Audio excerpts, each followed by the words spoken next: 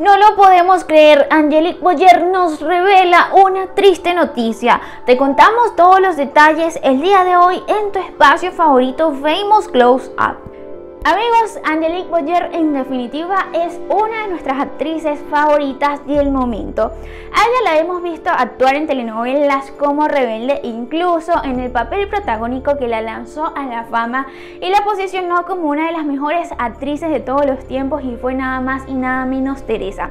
Este papel pues sería un cambio rotundamente en la vida de Boyer, ya que representaría un antes y un después. Luego de que vieron a Angelique Boyer debutando de esa manera, en el papel de Teresa pues consiguió muchísimos más protagónicos como lo fue en la telenovela donde le dio vida a Montserrat en lo que la vida me robó.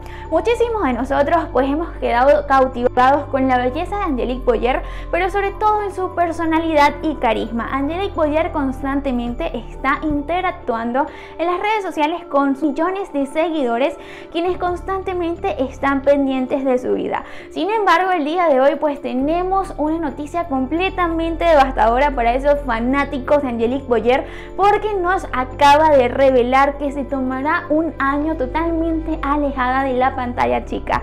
Ya no quiere saber nada de camarógrafos, de luces ni de maquillajes. De hecho, esto lo dio a conocer a través de una entrevista donde le estaban preguntando acerca del nuevo proyecto que se llama Imperio de Mentiras. Angelique Boyer nos dijo lo siguiente.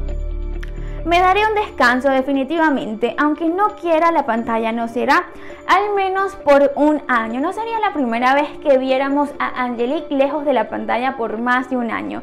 De hecho, el año pasado, pues Angelique Boyer hizo su último proyecto llamado Amar hasta la muerte y luego de la culminación de este, pues ella se tomó un descanso totalmente.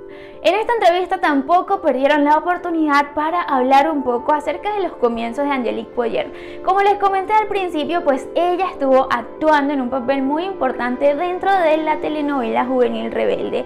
Esta telenovela que traspasó las barreras y se ha convertido en una de las mejores de todos los tiempos y también tiene hasta un día que celebran el Día de Rebelde. Hace unas semanas conocimos que Rebelde se volverá a reunir este diciembre para dar un concierto a todos sus fanáticos y le preguntaron a Angelique Boyer pues qué opinaba ella de esta de este nuevo proyecto y dijo lo siguiente sin duda en primera fila como porrista y super fan, estaré sin duda.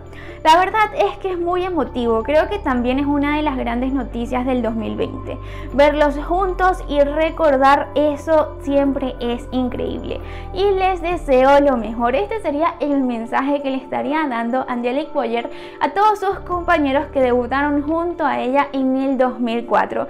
Angelique Boyer actualmente pues también es una de las fanáticas más empedernidas en cuanto al amor, ya que encontró a su media, a su media naranja, que se trataría nada más y nada menos de Sebastián Rulli. Ellos constantemente a través de las redes sociales comparten muchísimo contenido donde demuestran su amor públicamente e incluso uno de los videos más divertidos que salió hace poco en las redes sociales de ambos fue donde Angelique Boyer pues le da un golpe bastante fuerte a Sebastián Rulli ya que estarían simulando un golpe de un látigo. Estos dos se la pasan divirtiendo a todos sus fanáticos en Instagram y en TikTok. ¿Qué opinan acerca de todo esto? ¿Qué opinan acerca del retiro de Angelique Boyer? Los leo acá abajo en los comentarios y nos vemos en la próxima de Famous Close Up.